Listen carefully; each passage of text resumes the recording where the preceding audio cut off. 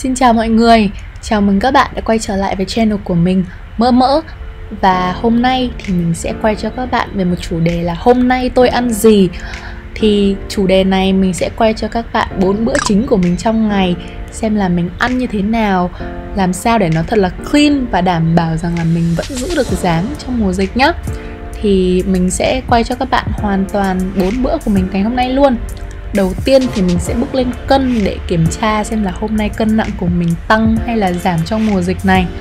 Thì đáng buồn là hôm nay mình lại tăng mất một cân rồi bởi vì hôm qua thì mình ăn uống khá là bừa bãi. Nhưng mà thôi không sao cân nặng mà chỉ là một con số thôi mình sẽ giảm nhé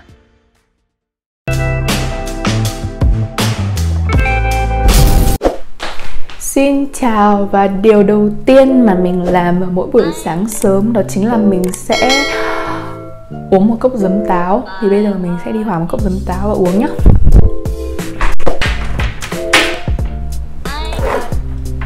đây là loại giấm táo mà mình uống nhá. Các bạn nhớ dùng cái loại mà có chữ with the mother. Thế này thì nó sẽ chuẩn hơn. Ok.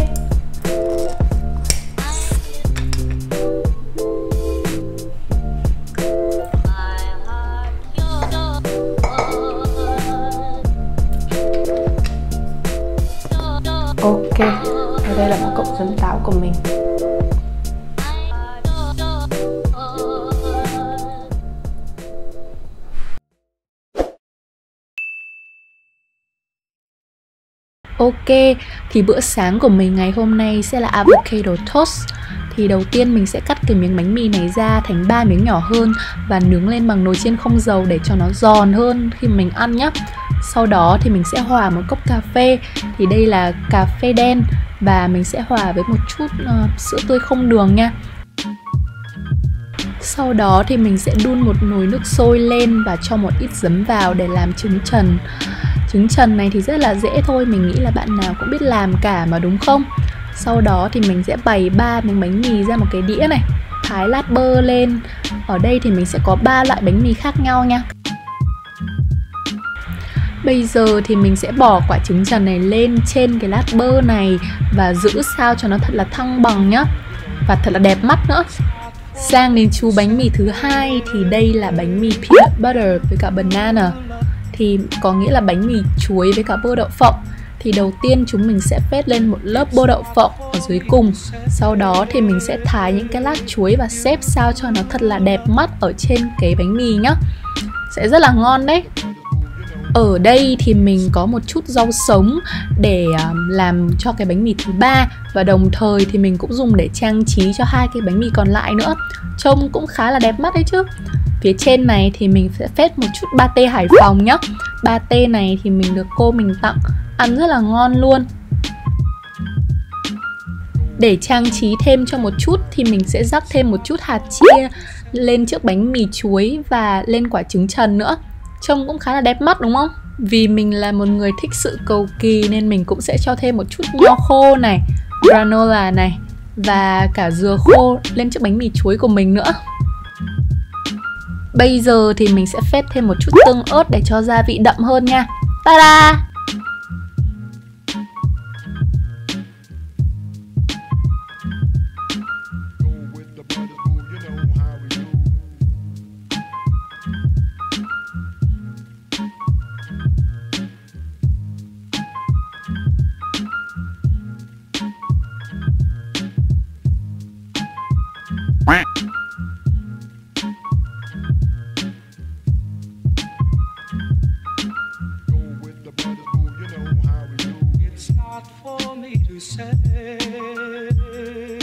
Giờ mình sẽ có một cảm nghĩ rõ hơn.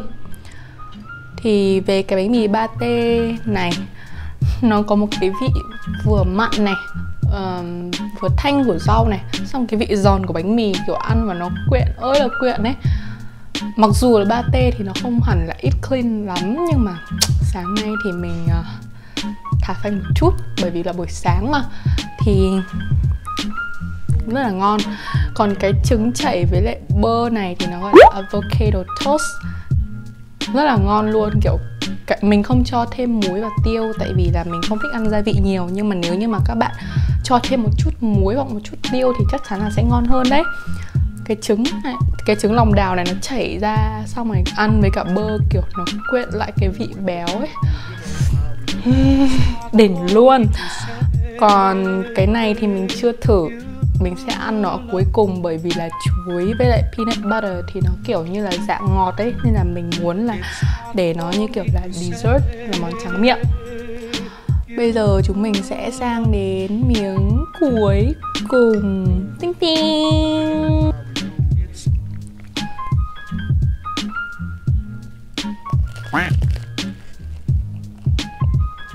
Mình thấy cái chuối ăn với cả peanut butter là chuẩn nhất luôn kiểu cái bơ đậu phộng nó béo rồi nó hợp với cái mùi chuối lãng mạn ấy.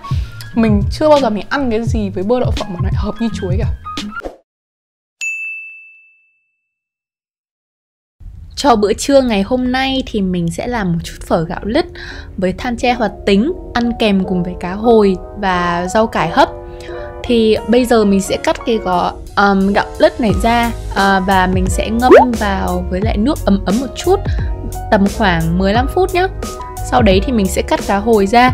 Thì buổi trưa nay mình sẽ chỉ ăn một khúc nhỏ thôi um, và mình sẽ cắt nó ra thành một khúc như thế này. Sau đó cất vào tủ lạnh ở đây thì mình sẽ ướp với một chút tiêu và một chút muối để cho nó đậm vị hơn khi ăn với mì thì nó cũng vừa hơn nhá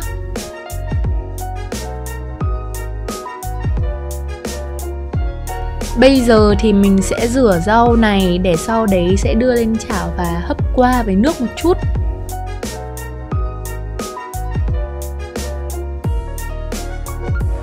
Nếu như nhà các bạn có giấy nến hoặc là giấy bạc thì bây giờ chúng mình sẽ để cái miếng cá hồi này lên đấy, sau đó sẽ cho vào nồi chiên không dầu để nướng nha.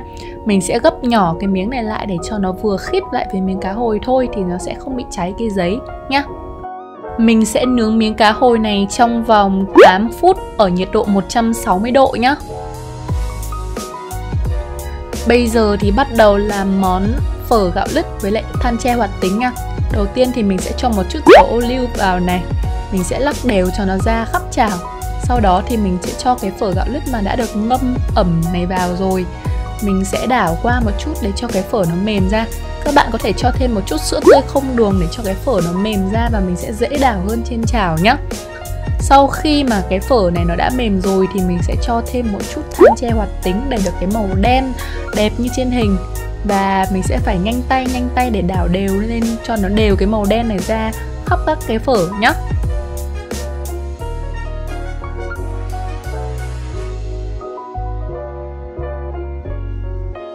Như mình đã nói rồi thì mình sẽ chỉ ướp muối và tiêu trong các món ăn của mình thôi. Ngoài ra thì mình không dùng thêm gia vị gì cả. Ở đây thì mình sẽ cho hai thìa muối và rắc thêm một chút tiêu để cho đậm vị nha. Sang đến món rau này thì các bạn cũng cho thêm một chút dầu ô liu vào nhé Lắc đều ra khắp chảo. Và sau đó thì mình sẽ cho thẳng cái rau cải trực tiếp vào trên cái chảo này. Cho một lượng ăn vừa đủ với các bạn. Sau đó thì mình sẽ cho thêm một chút nước để nó có thể dùng cái nước đấy và hấp cho cái rau này mau chín hơn nhé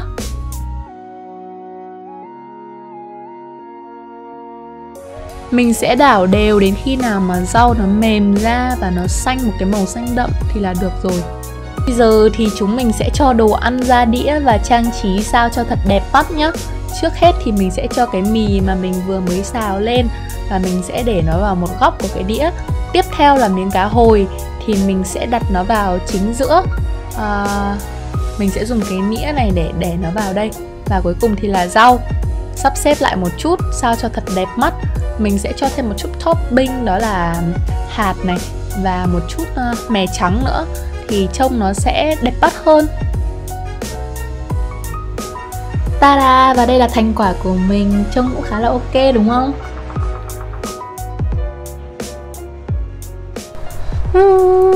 Bây giờ thì mình cùng ăn trưa nhá. Xin lỗi các bạn vì kiểu mình ở nhà ấy Thì mình mặc rất là À mình ở nhà mình mặc rất là buồn cười luôn nhưng mà thế cho nó chân thật các bạn ạ. Ok bây giờ chúng mình sẽ thử uh, một miếng mì nhá. Mình sẽ thử cho cái trứng này lên cái mì để cho nó chảy cái ờ, cái nước ở bên trong cái lòng đào ấy. Nó chảy ra cái mì. À đừng rơi. Để mình sẽ ăn thử nhá. Ừ, ẩm đạo ngon dã man. Nó có một chút sữa vào đây nên đâm ra nó không bị khô đâu mà nó vẫn là thơm nó thơm mà nó ngon. Mà nó cái cái tinh than tre thì nó không có cái mùi gì cả. Không có cảm giác cái mùi gì cả. trông cái màu nó rất là lạ đúng không? Đẹp trông nó độc. Mình rất là thích ăn những thứ màu đen luôn ấy. Bởi vì không hiểu sao ở trong đầu mình ấy mình luôn nghĩ rằng những thứ màu đen thì rất là healthy ví dụ bánh mì đen uh, một yến mạch đen cơm gạo lứt đen rất healthy đúng không? Cá hồi nhá.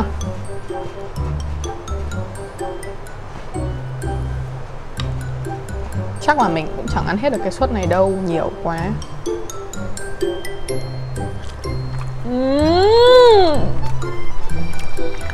Lâu lắm không ăn cá hồi với cả mayonnaise kiểu nó hợp dã man luôn ấy, béo ngậy luôn. Mình không biết làm bang đâu nhưng mà mình ăn thì rất giỏi. Mình không biết làm bang uhm.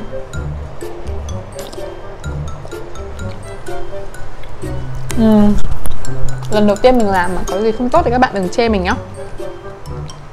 Bây giờ thì mình sẽ ăn hết cái sốt này nhá cùng chờ mình vào bữa tối nha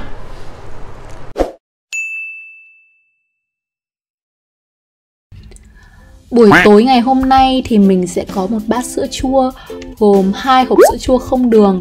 Mình sẽ phủ toppings cùng với một chút hạt chia.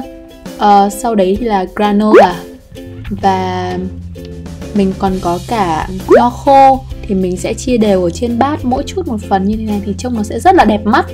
Sau đó thì là hạt Brazil. Cái hạt này thì rất là béo và ngậy luôn các bạn ạ. Ăn cũng rất là tốt cho sức khỏe nữa. Và cuối cùng thì là một chút dừa khô để cho nó thanh thanh cái vị nhá mình còn cắm thêm hai cái biscotti ở đây ăn cho nó ngon vào mùa dịch như thế này thì các bạn nhớ bổ sung vitamin C hàng ngày nhá thì mình sẽ có một cốc vitamin C ở đây để uống cùng với sữa chua bát um, sữa chua này trong này thì có granola này nho khô dừa và hạt uh, Brazil cái hạt này nó béo ơi là béo luôn các bạn ơi. Trông ngon vãi kiểu trông nó mịn ý. Bây giờ mình cùng ăn nhá. Các bạn có thể lấy một cái miếng này này. Cắm nó vào đây. À. uhm. À. bây giờ thì mình sẽ ăn hết cái này. Và mình sẽ đi tập nhá. Thì các bạn hãy chờ mình.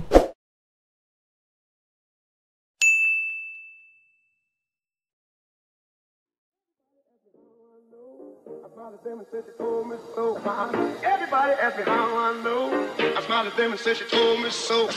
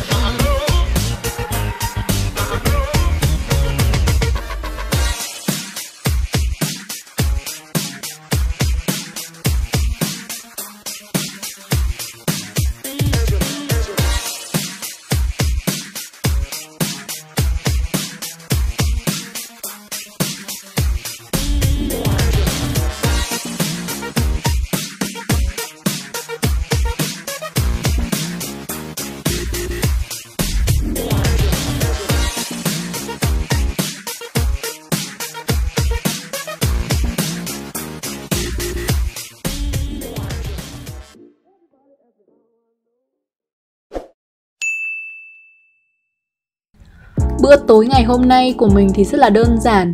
Mình sẽ làm một cái ờ, gỏi cuốn gạo lứt Và bên trong thì có những cái nhân như kiểu là dưa chuột này Cà rốt này, uh, trứng các kiểu. Thì bây giờ mình sẽ thái lát cà rốt và dưa chuột ra Thành những cái sợi nhỏ như thế này Và sau đấy thì mình sẽ cuốn vào bên trong cái ờ, bánh tráng gạo lứt nhé